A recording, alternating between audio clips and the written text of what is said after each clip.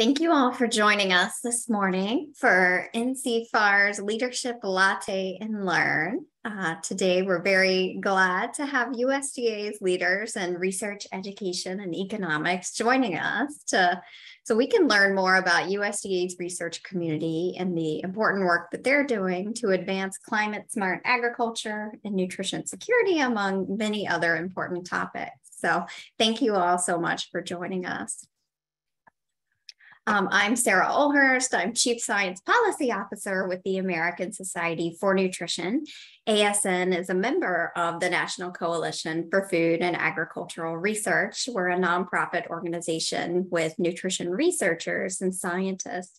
And I'm pleased to be a co chair of NCFAR's Research Outreach Committee. Um, for those of you who are not familiar with NCFAR, we are a nonprofit, nonpartisan, consensus based, and customer led coalition that brings together food, agriculture, nutrition, conservation, and natural resource stakeholders to serve as a forum and a unified voice supporting increased federal investment in USDA's research, education, and economics. Over the years, NCFAR has hosted tens of thousands of attendees at hundreds of seminars and webinars. Um, the Lunch and Learn series and now our Latte and Learn series are really NCFAR's signature events. And the goal of these events is to educate and empower staff on Capitol Hill and policy stakeholders about the value of public investment in food and agricultural research. These uh, webinars that we have feature experts from institutions across the country sharing their expertise on a wide range of topics. Um, we've done these in person and now we've moved to the virtual format during the pandemic, which has really allowed us to have a broader reach. And today we're very pleased to have the Leadership Latte and Learn feature, featuring USDA's REE leaders.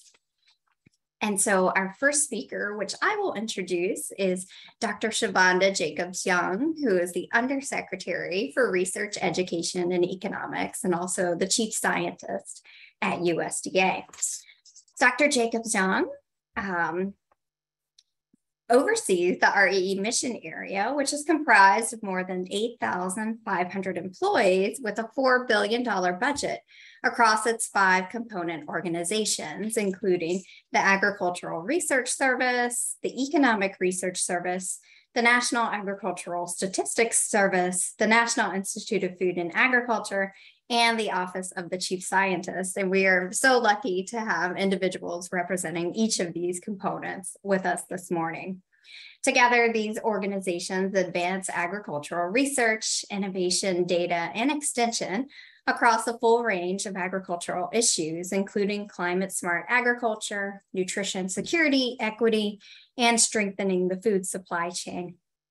As the chief scientist, Dr. Jacobs Young advises the Secretary of Agriculture and other senior officials on scientific matters and chairs USDA Science Council, which convenes all parts of USDA's scientific enterprise. Prior to being appointed by President Biden to serve as the REE Undersecretary, Dr. Jacob Young was administrator for ARS from 2014 to 2022. And so NCFAR has a long-standing relationship with Dr. Jacob Young, and we've always been so pleased with the work that she does. Prior to that role, she served as the ARS Associate Administrator for National Programs leading the research objectives of the entire agency. She also led the Office of International Research Programs, which is responsible for ARS's liaison with its international partners. From 2009 to 2012, Dr. Jacobs Young served as the inaugural OCS director, where she was responsible for facilitating the coordination of scientific leadership across the department to ensure the research supported by and scientific advice provided to the department and external stakeholders were held to the highest standards of intellectual rigor and scientific integrity. She has also served as the acting director for NIFA and as a senior policy analyst for agriculture in the White House Office of Science and Technology Policy. She holds her MS and PhD degrees in wood and paper science and a BS degree in pulp and paper science and technology from North Carolina State University. She's a graduate of American University's Key Executive Leadership and Public Policy Implementation Program and a proud fellow of both the American Association for the Advancement of Science and the National Academy of Public Administration. Thank you so much for joining us. And I will let Dr. Chavonda Jacobs-Young introduce the other speakers when it gets to uh, their time. And I just wanted to mention before we kick things off that we are recording today's presentations, and these will be posted afterwards on ncfar.org. And also at any point during today's presentations, if you have questions, please type them into the Q&A box and we will have time at the end for questions. And so now I will turn things over to you, Dr. Jacobs-Young. Perfect. Thank you, Sarah. Thank you so much for having us today. Good morning to everyone who took time out of their busy schedules to join us. As Sarah said, I am proudly the Undersecretary for Research, Education, and Economics um, at the Department of Agriculture, and I serve in the capacity um, as USDA Chief Scientist as well. Today, I am so delighted that I am joined by the leaders of each of the agencies in REE, and we will um, save just enough time. We're gonna we're gonna go through our presentations, and we're gonna save enough time for Q and A. And so, please, as Sarah said, please put your questions in the Q and A, and we look forward to engaging with you. So today I'm going to kick us off by sharing um, research, education, and economics updates and some of the exciting work underway in REE. Our REE agency leaders will provide brief overviews of activities happening in their organizations, and we plan for plenty of time, as I said, for discussion with you all. So simply said, the research, education, and economics mission area of USDA or REE is, as we fondly call it, is the driving force behind USDA science mission. USDA is a science-informed and based organization.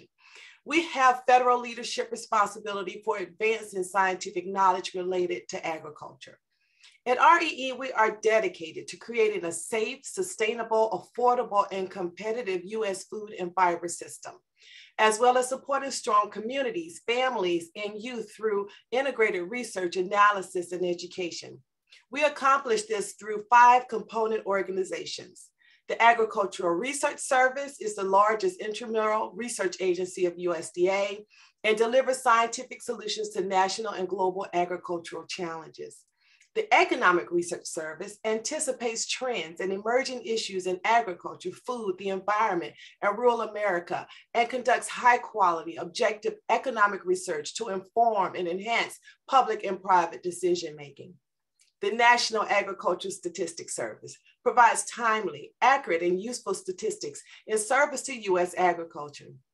NASS administers the Census of Agriculture, conducted every five years. The Census of Agriculture tells the story and shows the value of US agriculture. The National Institute of Food and Agriculture invests in and advances agriculture research, education, and extension to help solve national and ch national challenges in agriculture, food, the environment, and communities and the Office of the Chief Scientist, provides scientific leadership and ensures USDA funded research is held to the highest standards of intellectual rigor and scientific integrity.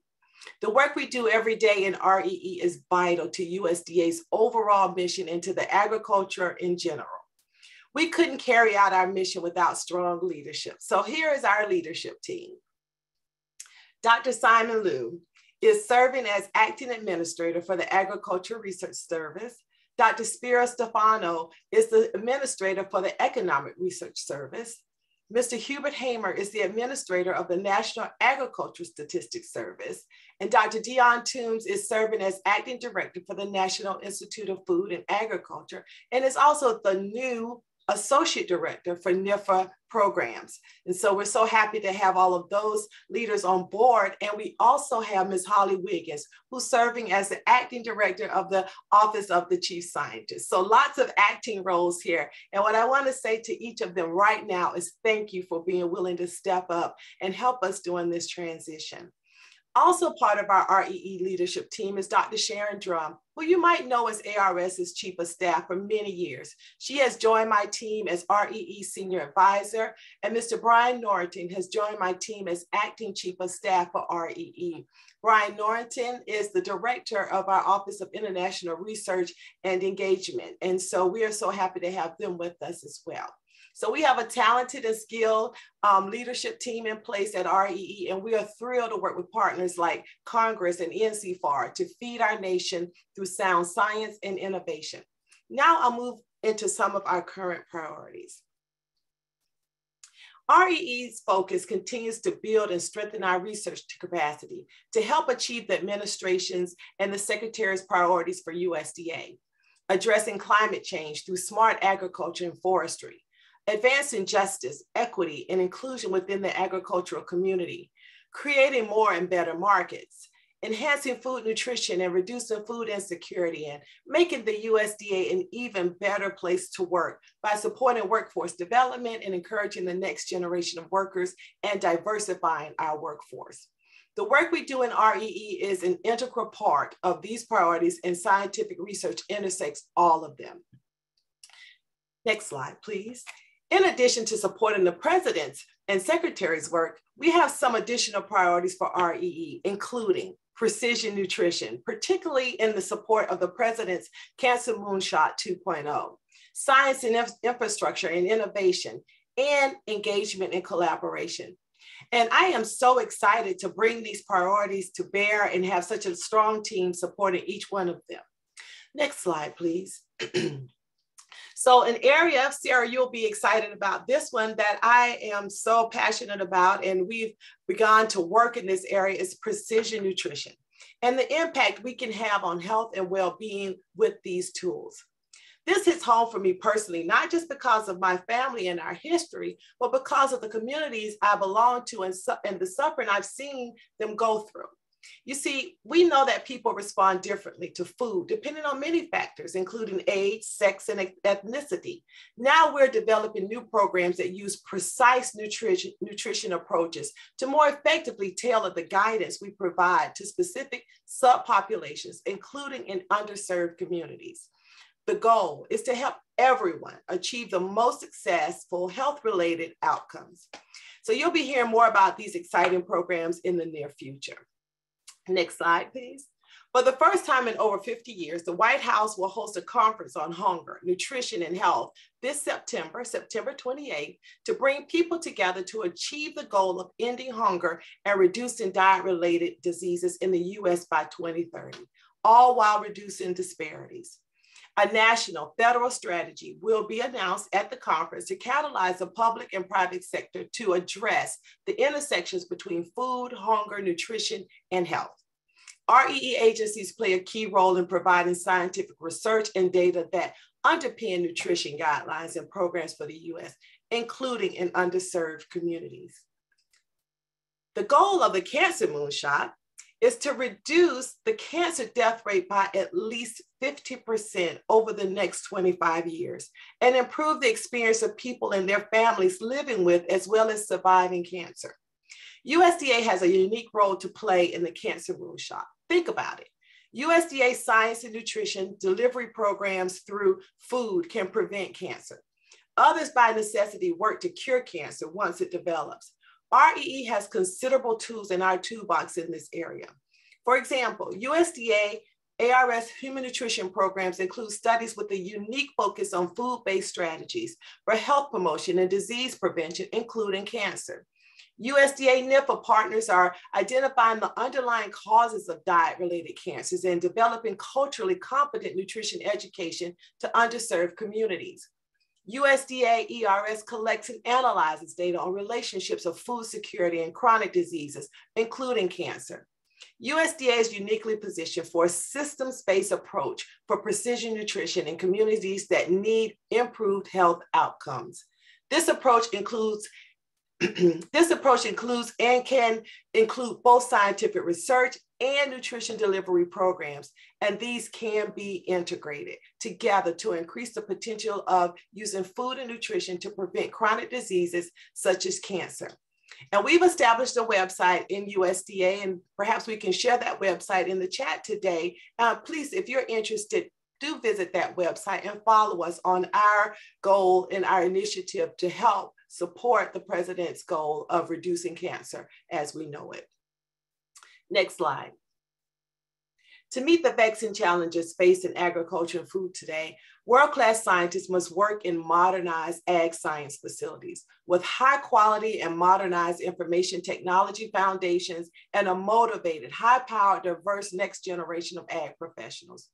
REE's priorities in this area was center on next gen education, diverse K through 12 pipelines, new and modernized facilities, and partnerships between our nation's land grant universities and USDA for modern IT. Next slide. Employees are REE's greatest asset. Ensuring REE is a great place to work is one of my top priorities. I believe that employees who are more satisfied with their jobs and are fully engaged are the most effective public servants.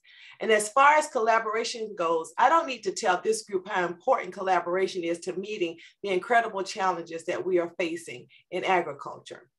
REE puts a premium on public-private partnerships and our partnership with NC FAR is one of them. We look forward to our continued partnerships with your organization as we work together to demonstrate the value of agriculture to the American people. In addition to this great partnership, over the next couple of years, you will see an increased emphasis in REE on partnering with tribal and minority, minority serving institutions in the land grant community, as well as an emphasis across the broader communities we serve in USDA. USDA received investments as a part of three historic key pieces of legislation. So thank you to our congressional colleagues on the call today uh, for your support. The American Rescue Plan. The American Rescue Plan was enacted in response to the pandemic. It was a responsive way of delivering direct relief to the American people, rescuing the American economy and starting to beat um, to beat the I'm sorry, excuse me, and starting to beat the virus as a part of the plan for USDA, continues to be delivering nutrition assistance to millions of food insecure Americans. The bipartisan infrastructure law, another name for the Infrastructure Investment and Jobs Act, is a historic investment in America that would change people's lives for the better and get America moving again. As a part of this investment, a bioproduct pilot program was established that provides $5 million each in fiscal years 2022 and 2023 for a total of $10 million to support work using agricultural commodities to manufacturing, construction, and consumer projects. The landmark Inflation Reduction Act provides USDA with nearly $40 billion to invest over the next 10 years to improve life and livelihoods in rural communities. As part of this investment, USDA is committed to advancing equity through its policies and programs. We seek to improve access to programs and services for historically underserved producers, landowners, and operators. By centering equity in our decision making and policy making, USDA seeks to root out generations of systemic racism, sexism, and oppression to ensure equitable access across USDA programs for all of our customers. Under the leadership of Secretary Vilsack and Deputy Secretary Brownell, USDA is committed to turning the tide and realizing lasting change. And with that, I will turn the floor. I thank you for your attention, and I will turn the floor to Dr. Simon Liu, who is the acting administrator for the Agriculture Research Service. Previous to his acting role, Simon has served as the associate administrator for ARS and um, is my, my one of my great colleagues. And so Dr. Liu, you have the floor. Right, thank you very much. Thank you, Dr. Jacob Young. Good morning, everyone. Uh, thank you for the opportunity to give a quick general overview of ARS and our latest priorities.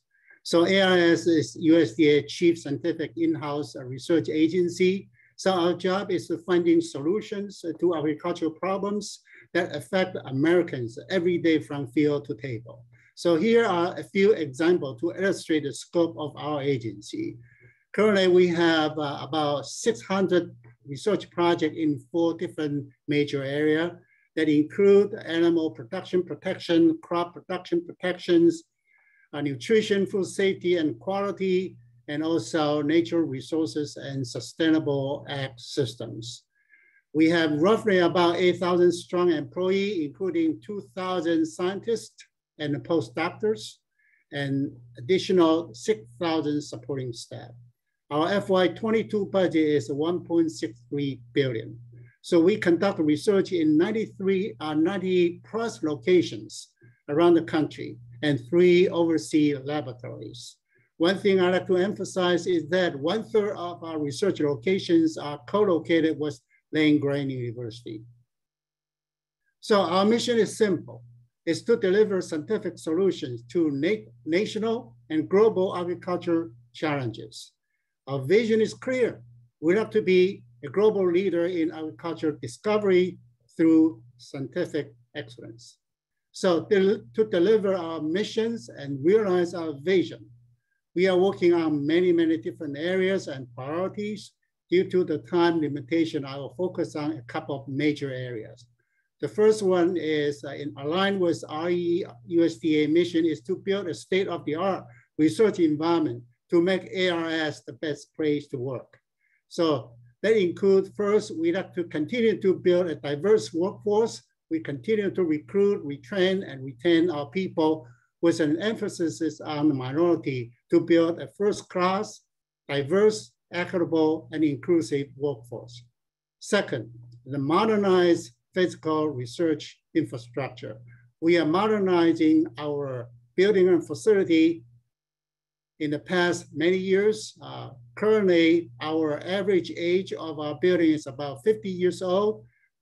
We organize our facility research project into 118 projects. 27 of them has been funded by the Congress and we still have 91 to go.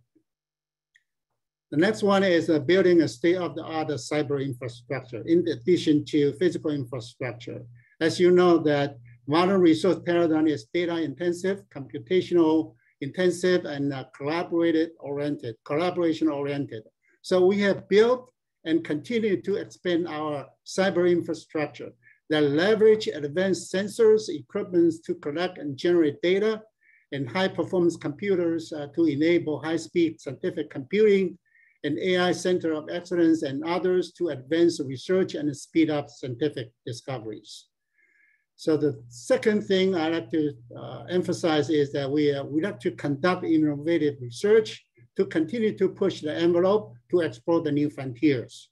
So I'm gonna give you two examples. The first one is a precision nutrition to support President's cancer moonshot as Dr. Jacob Young just mentioned earlier. So I'm gonna move on to the second project we have focused on, which is a new climate smart cropping system for corn. So the project is to convert current corn production system to an overwintering system that recycle nitrogen and other fertilizers. So the new system will be more cost effective and environmentally sustainable. More specifically, we have to simplify farmers their logistic, increase the yield, decrease the input, reduce the greenhouse gas emissions, reduce the water pollution, and reduce other environmental footprint. So those are the quick high-level overview of ARS. Now I'd like to turn over to Dr. Spiro Stefanou, the ERS administrator. Dr. Stefanou, the floor is yours. Thank you, Dr. Liu. I appreciate that. Uh, I'm Spiro Stefanou, ERS administrator and I'm happy to be here today. The Economic Research Service is one of the 13 federal statistical agencies, along with our sister agency at NASS. And our goal is to provide trusted, objective, timely research and statistics to inform public and private decision makers. Our at level, our activities exactly coincide with the NC FAR issues on food, ag, nutrition, conservation, and natural resources. And hopefully I'll get to tell you a little bit about that. We are a data and evidence building agency that's conducting independent research and analysis on the economics, looking at the vitality of agriculture, food, the environment, and rural America. Now, we have three core assets that we, we think of here at Economic Research Service. First are our people and the expertise they bring to the agency. We have about 300 staff, uh, approaching 300 staff on board.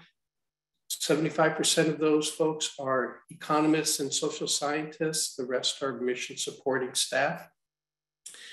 Our data are another core asset.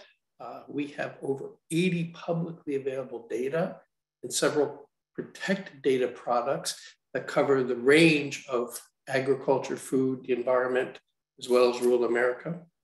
And the third key asset are our core models. And these models cover the food landscape, such as the Food Access Research Atlas, what we used to call the food desert map, uh, natural resources and the environment, uh, data, uh, core models on land use, uh, looking at climate change, and markets and trade, which look at impact of climate change on land use and international trade markets. Uh, we have the food security uh, models that we use. Uh, that was, we were talking about food security a few moments ago.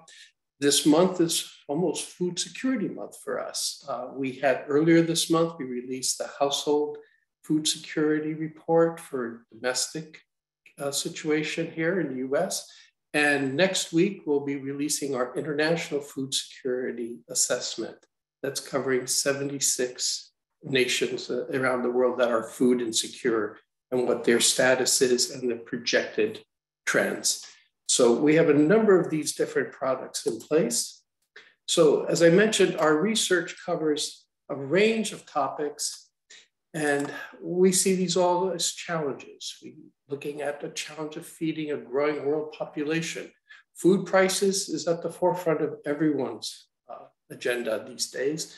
And so it's, but food prices also have to relate to access and nutrition. And we've done some powerful work to support the Thrifty Food Plan, uh, the work to find how much the 50, the the uh, plus up in the 50s food plan uh, had to be to keep folks, uh, keep those households at the similar level of nutritional security. Uh, that was work that we did to support uh, the food nutrition service. Rural development, looking at the vitality of rural communities, not just with employment, the impact of COVID on, the, on these rural communities, and how did COVID transmit uh, from urban areas to rural areas? And what, what kind of lessons can we learn with the transmission of uh, such a pandemic coming in the future? Uh, trade is a huge issue, of course. We see trade moving in a different direction these days as we start to think of sustainability and will future trade agreements uh, have a sustainability component into them and how that can affect trade patterns moving forward. Russia Ukraine conflict is a clear case in point. Uh, and the, the trade disruptions that are going on there, and how's that impacting food insecurity worldwide. And you'll hear about that next week in a, in a webinar and looking at our report that will be released. Uh, of course, we're interested in foreign policy. The Farm Bill is going to be top of mind as well for many folks. And we're standing up a team to kind of digest what the proposals are and to try to provide some of that economic intelligence and informing information to policymakers and to private uh, stakeholders as well. Uh, adaptation to climate change. What is the impact of climate change? Climate change is a local, global, local challenge happens locally, has global consequences, but again comes back to local outcomes. And we've been seeing that in the news a lot in the last couple of weeks. Talking about our data and foundational models, data uh, is our second largest item in our budget. We invest a lot in data products across all the areas uh, that we mentioned in terms of food, uh, food nutrition, uh, rural economics, resource economics areas, as well as trade and markets. So we try to integrate these commodities into an information system We have farm income reports that we do that track the state and vitality of farm households, financial vitality. Uh, three times a, three times a year, we had a release earlier this month on the state of the farm household economy. And we're looking at the consumer and food industry data system. So a number of these different themes are at top of mind that are on our agenda. The Economic Research Service is the preeminent economic research agency in agricultural economics. There is no other agency in the world that has as many agricultural economists studying the same, studying these topics. And uh, we take that responsibility very seriously, and we work actively to be at the forefront of our, of our profession and the economic intelligence that we can provide. Uh, with that, I will close and pass it on to my colleague, Administrator Hubert Hamer, to talk about the National Agricultural Statistics Service. Thank you. Thank you, sure, sure, I appreciate that. Uh, my name is Hubert Hamer again, the administrator of the National Agricultural Statistics Service. And uh, is USDA's data collection arm. We collect information directly from farmers and ranchers and agribusinesses. Our mission is to provide timely, accurate, and useful statistics in service to US agriculture. So how do we do that? Uh, we disseminate about 450 reports on an annual basis with information on crops, livestock, economic, and environmental statistics. Uh, we're one of the smaller agencies in the department. Uh, we have about 825 federal employees and 3,000 contract employees that help us with the data collection activity, multiple modes uh, for collecting information. And uh, our job is to uh, provide that information that's used across the department and across, uh, in, basically for any data users. I wanted to share a little bit of information on a quick update on a couple of activity items uh, we always enjoy working with different organizations and partnering, uh, look for opportunities to leverage our resources. Uh, we have teamed up with NASA to develop a crop condition and soil moisture analytics tool called Crop-CASMA. This is a web-based application uh, that remotely senses geospatial soil and moisture uh, data and vegetative index data. Now producers are able to access this tool to monitor US soil and crop vegetation conditions.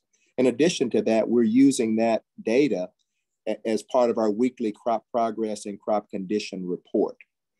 Uh, another item I wanted to highlight is that NASS is in the process of updating our infrastructure as well, uh, looking to modernize our, IT infrastructure uh, for the purpose of improving customer service improving access to data. And again, we're working with several legacy systems, and over the next three years or so, we will invest in that uh, infrastructure to be able to carry on with our operational programs to support the 2027 Census of Agriculture, 2027 Census of Agriculture as well. Uh, we're looking to invest between 60 and 70 million dollars over the next uh, few years. I also uh, wanted to highlight um, uh, that uh, we are preparing at this time for the Census of Agriculture. Uh, this is our flagship data collection activity where we collect information for more than 3,000 counties, parishes, and boroughs across the United States. This is a really big deal for us. I mean, these data have not been updated since 2017. Uh, so we're going to do a complete count of every farm and ranch in the United States, uh, not just what is being produced, but the, we also have very um, uh, uh, dynamic information on who's actually producing uh, these particular commodities. What are the contributions of women? Uh, what are the contributions of veterans? So we'll have some very important information that we can share in that regard. I wanted to say a little bit about the schedule of activity for that. We're going to kick it off with online data collection in November. Paper questionnaires will be mailed out in December. And uh, we expect to have these data published uh, in uh, February of 2024. Well, how can you help us? Uh, we need all the help we can get promoting the census of agriculture. Again, these are data that will be used uh, to uh, establish farm policy. Uh, you can think about the Farm Bill used extensively by researchers. So it's a great opportunity for us all to partner and to get behind this effort. The other item I wanted to mention very quickly is if you're in the DC area, uh, I would invite you to participate in our lockup activities uh, where we release, release some of our principal federal economic indicator reports. These are the market sensitive reports that we have to basically have a full physical perimeter around the release of these reports. You can think about it in terms of a SCIF, uh, where all of the staff will go in and release those uh, reports at a scheduled uh, point in time. Uh, so uh, just happy to be with you today. Look forward to your questions. Uh, and I will turn it over to Dr. Toombs to give a NIFA update. Dr. Toombs. Thank you, Mr. Hamer. And it is truly exciting to be here with you today. And for most of you who may not know, for some of you who may not know, uh, be familiar with the National Institute of Food and Agriculture. We are the extramural research funding agency at the US Department of Agriculture. And Congress has entrusted us with more than 70 funding programs totaling almost 2 billion. We provide funding mainly through capacity or formula and competitive grant programs. Our capacity programs provide research and cooperative extension funding for all land grant universities including 19 historically Black colleges and universities designated as 1890 land grants, and also tribal colleges designated as land grants in 1994. Through these programs, we reach every community in the nation and non-formal hands-on education for farmers, producers, consumers, and families through the cooperative extension system. Extension emphasizes taking knowledge gained through research and education and bringing it directly to the people to create positive changes. They serve agriculture producers, urban gardeners, small business owners, consumers, families, and through 4-H to our youth who will be our next generation of agriculture leaders. Capacity funding to land grant universities also provides geographically specific agriculture research nationwide. And they also ensure that rural communities have the locally specific research that they need to remain competitive and that they can produce and deliver new knowledge focused on food, water, energy, and climate nexus to achieve healthy environments, ecosystems, and economies, both domestically and internationally. Our competitive grants portfolio is anchored by the Agriculture, Food, and Research Initiative, also known as AFRI. And AFRI supports every aspect of agriculture science from foundation to applied and social science. AFRI's funding has grown from 201.5 million in fiscal year two, 2009 and to 455 million in 2022. And the president's 23 budget request includes 564 million for AFRI.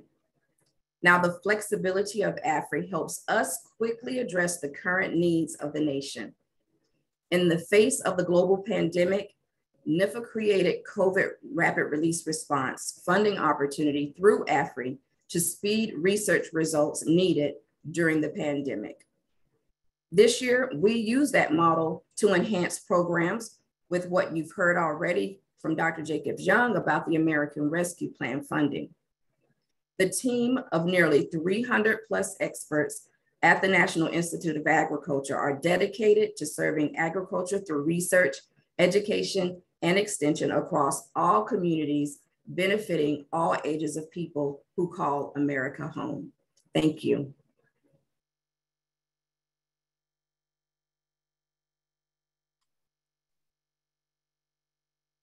So Dr. Toombs is our final speaker for um, this session. I see we have two questions in the chat. Sarah, should we go to the question and answers?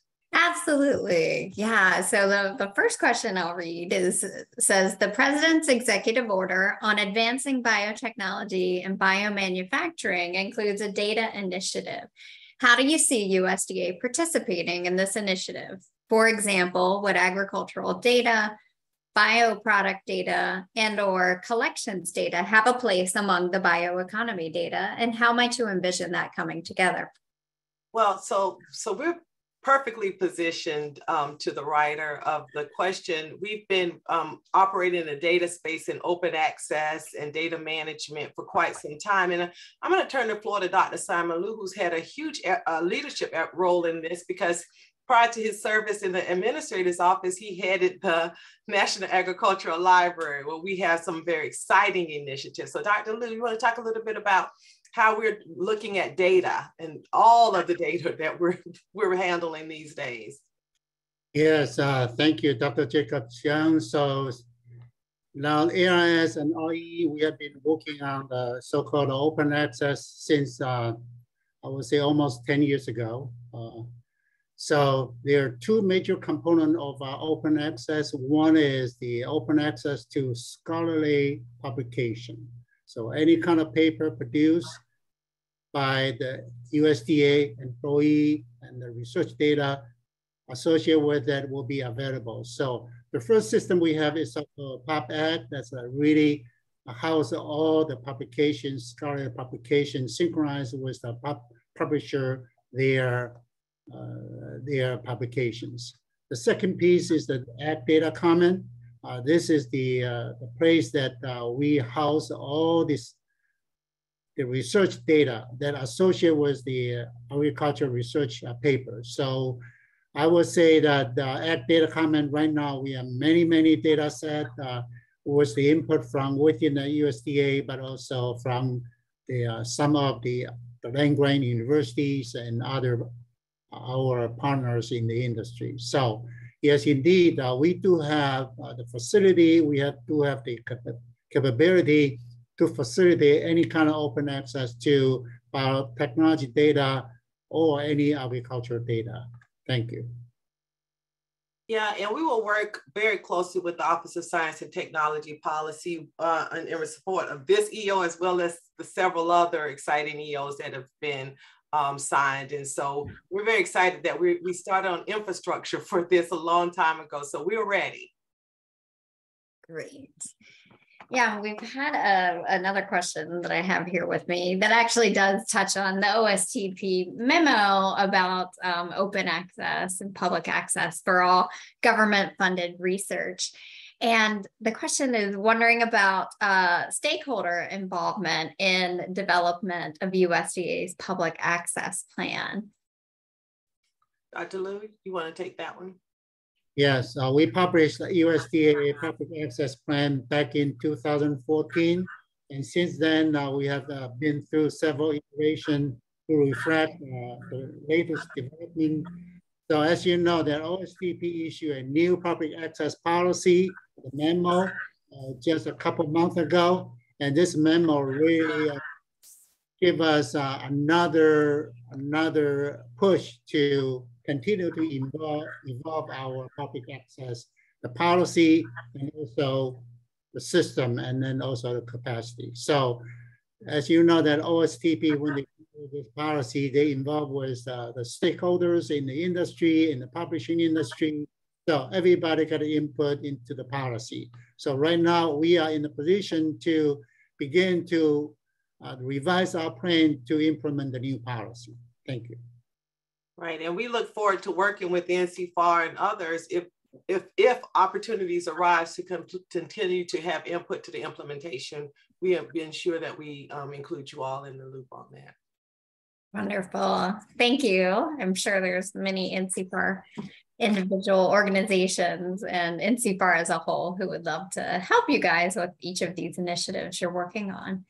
And our next question I'll direct to Dr. Toombs. Um, ever since NIFA had relocated to St. Louis. If you could tell us about how that process is going. I know that you guys have worked very hard and have, uh, you know, almost gotten back to full capacity. Yes, Sarah, you actually answered part of that question because we are 84% um, to that, to our goal. And we have 323 employees at this present time. And so the question around, okay, how, how are we doing? We're doing great. We're in a good space. We are training, of course, when we have 84% of new staff, basically, you know, we're in the process of training our employees as well as training the stakeholders that we work with in order to ensure that we have that uh, partnership and engagement of learning of what we're both doing in order to achieve the mission of the agency as a whole. Wonderful. Yeah, it's great to to see things come together. And Sarah, I'll also add that ERS certainly is in a great shape as well. And so we've been very proud of the work of all of the teams. Um, as you may know, the Agriculture Research Service does all of the hiring for REE.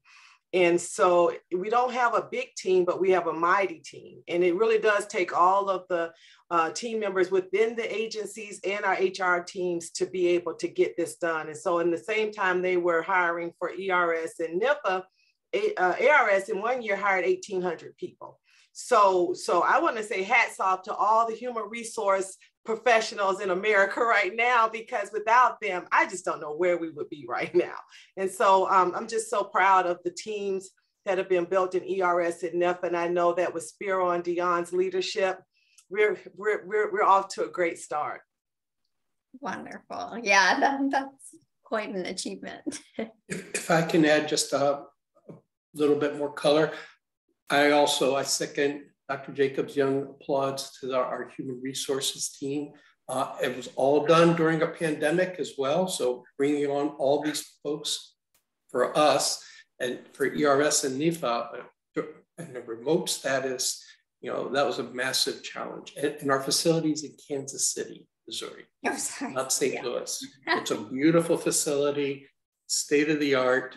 Um, so, you know, we welcome folks to come visit there. Thank you. Thank you. Thank you for the correction. Sorry about that.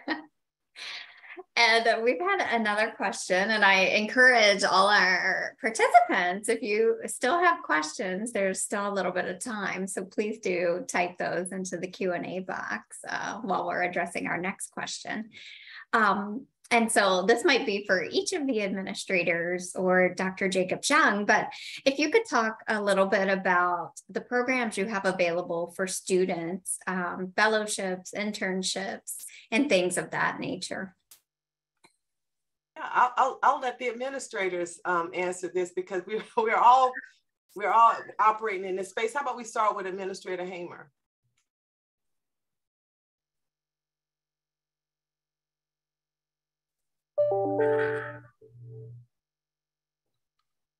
Okay, technology here.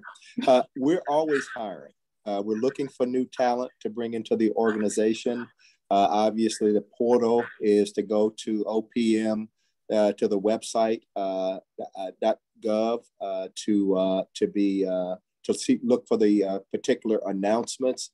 But we're looking for primarily agricultural statisticians, mathematical statisticians, and information technology specialists. Those are the three primary disciplines that we hire in. And uh, we're open for business and looking for talented students who are available and looking for opportunities uh, at USDA NASS. Uh, Dr. Liu. Yes, uh, within ARS, we do have a few programs. The first one uh, is the 1890 National Scholar Program. Uh, the idea is that to sponsor a student in those uh, eight, nine, 19 of 19 uh, university, the 1890 university. So uh, we each university we have sponsored currently two national scholar to do so. And we also have uh, the pilot program with other land grant university focused on the AI and the big data. And so the goal is to bring uh, those students into our lab let them know uh, what we do. Really, our goal is that to make sure that people know that ARS is an exciting advanced research organization. So uh, this is the AI uh, big data uh, pilot project with uh, with the university is very, very critical for us to continue to build up our, our capacity in advanced technology area. So we also have um, uh, postdoc, other postdoc program both going through the ORISE. Uh, those postdoc uh, program will be able to include the international postdocs on an annual basis. We hire hundreds of postdocs. So those are the great opportunities. So go to ORISE website and you'll find currently we have roughly about 100 opening over there. Yeah, Thank so please send your students our way. We want them. Spiro, you have some exciting work underway working with our, our future leaders. Yep, so well, we too participate in 1890 Scholars Program. We, we support about four students right now. Uh, and we also have a program with the Farm Foundation, an Ag Scholars Program. We were funding 15 students for the, over the course of the year to kind of learn about the, the ag economy and, and the system that it operates in. And we've now bumped that up to add to 20 to have five targeted or underrepresented groups coming from minority serving institutions. We participate in the Pathways program as well. We just don't take economists. You know, we we have uh, communication specialists, communication majors coming to us, public policy majors, geography with geospatial information. And right now we're engaging in a new program, uh, a special uh, endeavor with the Agricultural and Applied Economics Association, try to build the next generation of scholars here in the area of agricultural economics for graduate program preparation, uh, but as well as the, the pipeline coming up to that, to that group. And so we need that pipeline filled and we, we want to help our institutions here, our higher education institutions, make that happen. They're the ones who decide who gets into a program, what they do in their program, who gets out. We're trying to help them make that transition to really promote underrepresented groups that have a higher profile and higher presence in our in that pool. Yes, and and and I saved you for last because, and Dionne, just let's give us a high level because you guys have so much going on. Okay, high level. Um, we have a lot of the cross-cutting programs like they do across the entire USDA from the 1890 Scholars Program, as well as the Pathways Program. And we have our Fellows uh, program as well. So those who are interested in almost everything in agriculture could fit into NIFA, you know, even if it's ag business, we have our Office of Grants Management, we have a policy side, we have all of the programs around animal health, uh, plant health, uh, nutrition, food safety. So, you know, you name it, just give us a call. You know, we can further assist you as well. But going to USA Jobs uh, is also helpful to finding out about all the programs across USDA. Wonderful. Thank you.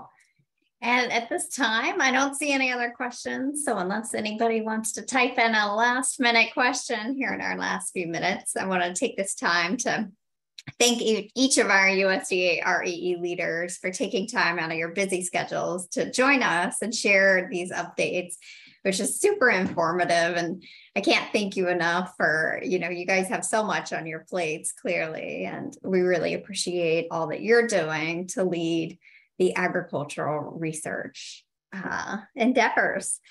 So with that, I think we'll we'll close out our webinar for today. Thank you all.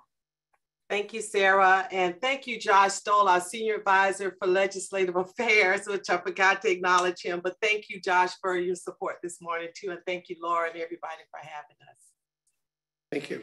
Bye-bye. Thank you. Thank you.